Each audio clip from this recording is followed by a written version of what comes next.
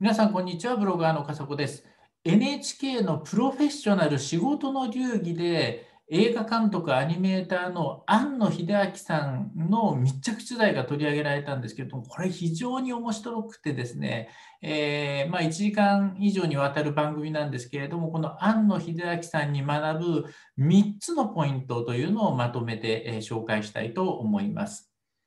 えー、まあ、安野秀明さん、まあ、皆さんご存知だと思いますけれども、アニメーターであり、映画監督であり、まあ、今話題となってます、エヴァンゲリオンの生みの親ということで、まあ、ちょうどですね、このエヴァンゲリオンが終わる映画が、えー、最終話ということですね、あのあのね、終わるというタイミングで、えー、この放送がされたという形になっております。まあ、非常にですね、えー、まあ、優秀というか、もう才能あふれる方という方なんですけれども、まあ、この方の密着取材で、えー、ね、番組で取り上げたことで分かった3つのポイントというのを取り上げていきたいと思います。えー、まず1つ目はですね、今までと違うもの、面白さの徹底した追求、この姿勢がすごいんですよね。えー、まあ、あのずっとそのエヴァンゲリオンのその次回作、まあ、最終になる映画のことを追ってるんですけれども、これだと今までと同じなんだよな、これまで、これだとありきたりなんだよなっていうことをずっと繰り返し言ってるんですよね。で、えー、別に今までと同じものが悪いわけじゃない。だけれども、それじゃ面白くないじゃないか。だから、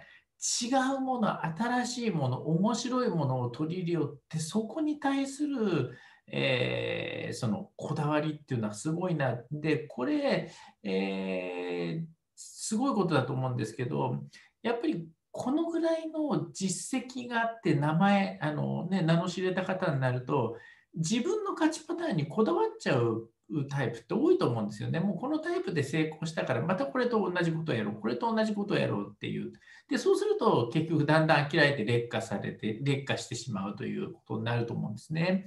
まあ、これ、え例えが適切かどうかは分かりませんけれども、えー、まあ、ジブリですね、宮崎駿監督のジブリ、まあ、あそこあれはなんていうか、初めセンセーショナルで面白かったのに、どんどんどんどん劣化していくという、ちょっと不思議な現象っていうところもあると思うんですけど、なんかそれとは対極的なんですよね。なんか常に新しいもの、今までの勝ちパターンでやったら、また同じでしょって、もうそれはもちろん安定はしてるけれども、そこにこだわらない姿勢っていうのはすごいなと思っていて、でだからこそ、すっごい無駄なやり方、遠回りなやり方をするんですよ。これ本当にすごくって、まあ、あの周りにいるスタッフはたまったもんじゃないって感じなんですけれども、でも、その無駄とか遠回りをあえてさせるんですね。それによって、だからもう全部出して出して立ち尽くして、もうこれもダメ、あれもダメ、これもあれ、これもダメって、このダメなものをいっぱい出し尽くして、あれ、これ残ってるよね、みたいな、そういうなんていうかやり方をやってるのが非常にね、すごいなという、この、えー、まあ、姿勢ですよね。えー、まあだからその、今までの勝ちパターンにこだわらない、なんかそのエヴァンゲリオンのそのね、えー、最新作についても、え、自分の今までの3作のそのコピペみたいなことをやってるんじゃ意味がない。あのオマージュみたいな、自分のオマージュをやっても意味がないっていうことを言ってるんですよね。だから常に新しいものを、でだからこそ飽きられない面白いものっていう、この姿勢は本当にすごいなというところが、まず1点目ということです。それから2点目ですけれども、人気作を終わらせることで重荷を下ろしたいということなんですけれども、まあ、これ本人の発言ではなくて、まあ、ナレーションか誰かの解説かで、まあ、そうなんじゃないかっていうことではあるんですけど、まあ、エヴァンゲリオンですね、ま、これだけ大ヒットして、これだけ熱狂的なファンがいる中で、えー、別に終わらなくてもいいんじゃないか、永遠に続ければいいじゃないかっていうのに、あえてまあ、あえてという言い方も変ですけれども、終わらせることにしたんですよね。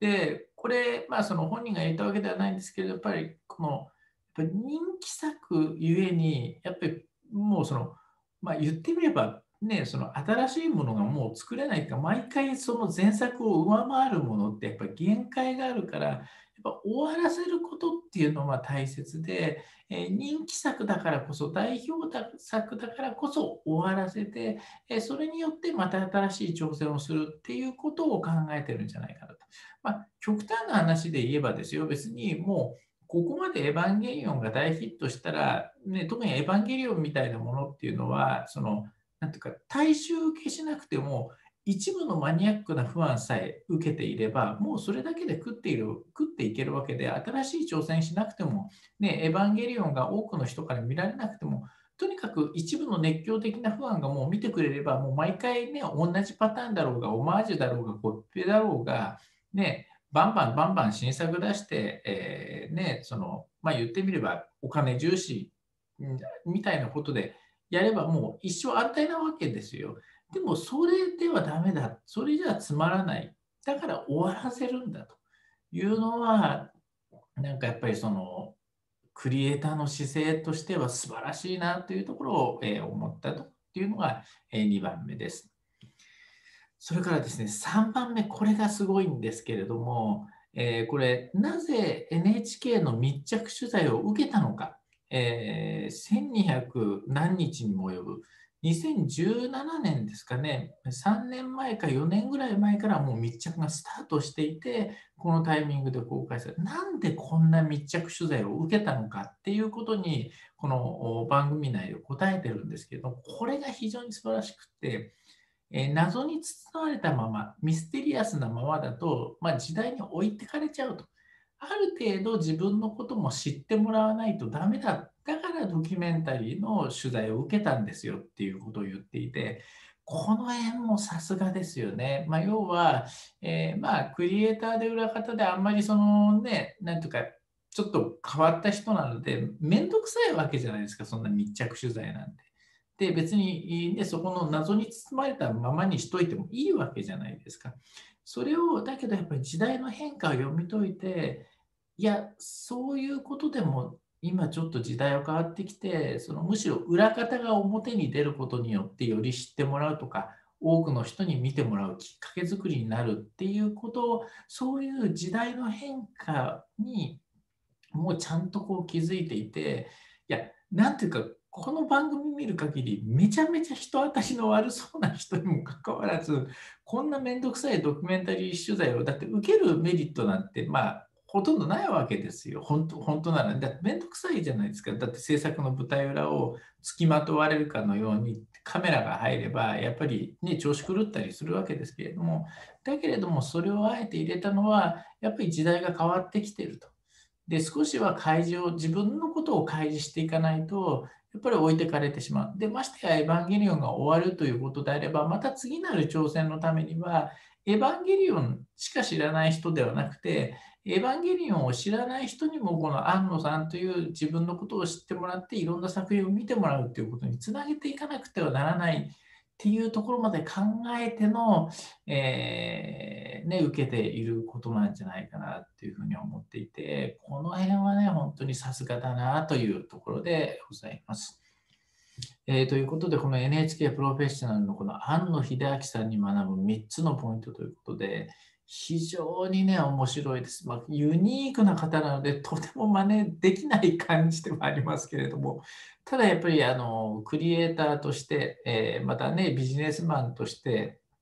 非常に学べるところが多い番組、まあ、特に、まあ、いろんな情報量があるんですけど、この3つのポイントということで絞ってみましたので、えー、ぜひ皆さんもですね、ここに学んで自分の仕事や作品作りに生かしていただけるといいんじゃないかなと思います。